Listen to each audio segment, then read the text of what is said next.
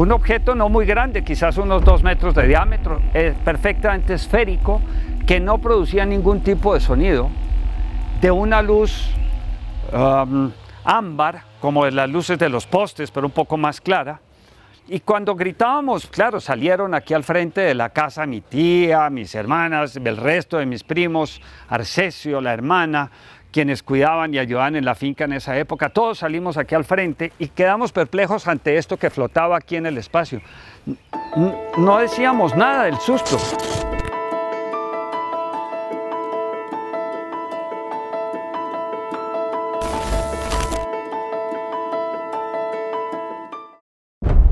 El objeto se desplazó hacia este sector, Arcesio cruzó a través del cultivo de moras y un primo y yo cruzamos a través de la casa y subimos a ese sector de esos, donde hoy están esos árboles, ese tanque, y desde allí vimos que Arcesio, al haber cruzado aquí, salió al otro lado del cultivo que no era muy grande y se encontró con que el objeto había descendido casi a nivel de piso.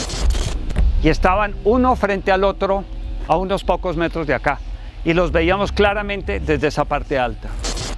Después de haber corrido, Arcesio llegó más o menos muy cerca de este punto y se encontró, porque él venía corriendo, y mi primo y yo ya habíamos llegado arribita, se encontró con que el objeto había bajado a una distancia aproximada de unos 11 metros y estaba a nivel del suelo.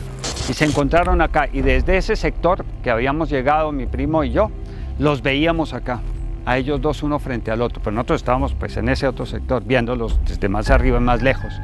Y así permanecieron quizás un par de minutos, un poco más, un poco menos, y repentinamente el objeto se levantó y desapareció, así como ciencia ficción, dejando un destello de luz.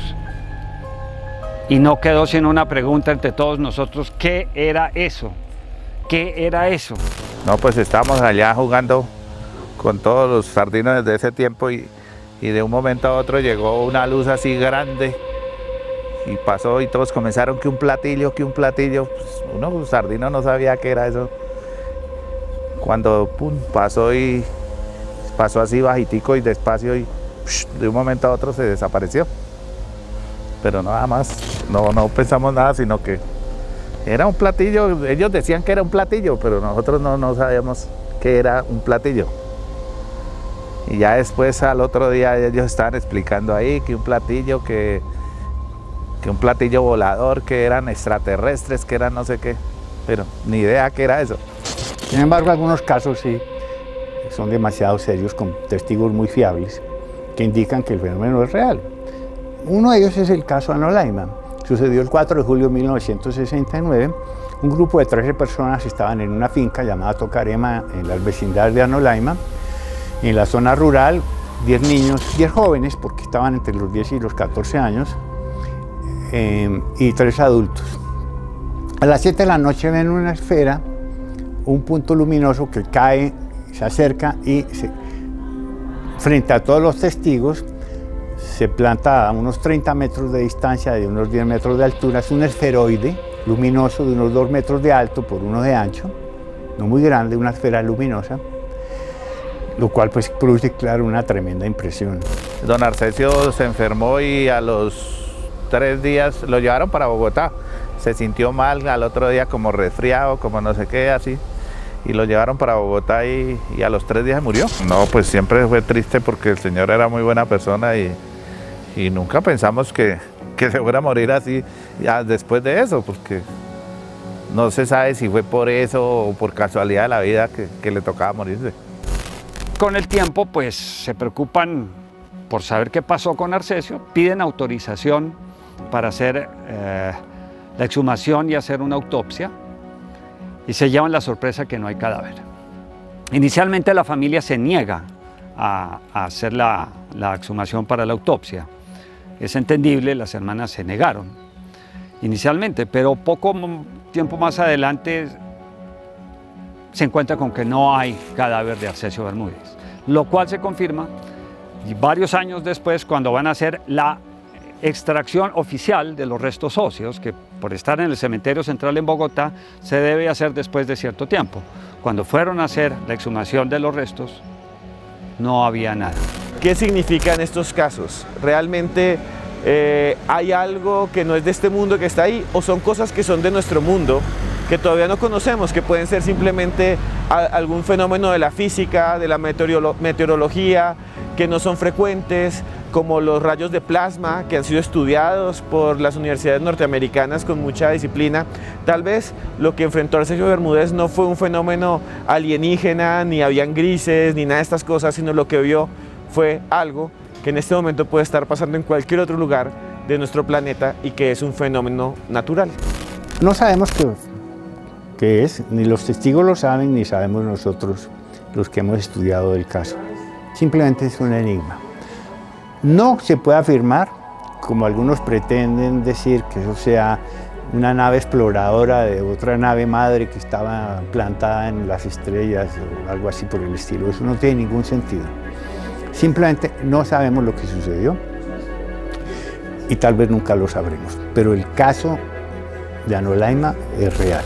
Dicen y aseguran, yo tuve la oportunidad de hablar con el médico y él trabajó en la clínica Marley año 1969. Yo estaba muy niño, colegio. Mucho después cuando hicimos la investigación, eh, él nos, asegura que vinieron de la, de la Apolo, de Estados Unidos, vinieron y se llevaron el cadáver de Arcesio Bermúdez. Lo sacaron de allí, se lo llevaron para investigarlo y no volvió a aparecer el cadáver cuando después de, haberlo enterrado. Lo desenterraron y ellos dijeron que lo han llevado porque representaba alto grado de radiación y era pues eh, era para la investigación de qué había pasado, si se trataba de que, en la zona había campo de radiación o qué pasó allí. El cuerpo de Arcesio Bermúdez desapareció de la tumba en medio de una investigación de ufólogos.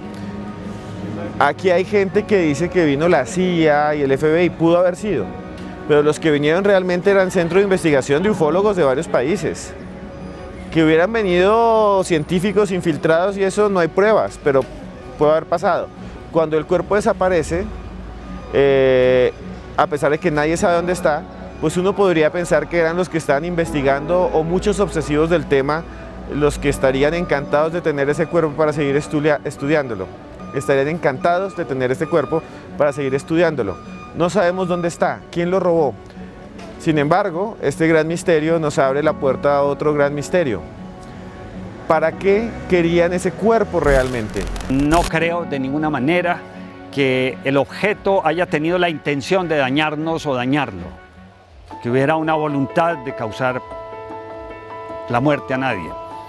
Creo que fue un evento desafortunado, accidental, que marca un hito dentro de este tipo de eventos y que pues tuvimos eh, la oportunidad de presenciarlo de manera evidentemente directa y que aún 50 años después sigue siendo tan vívido para mis recuerdos, inolvidable mejor dicho.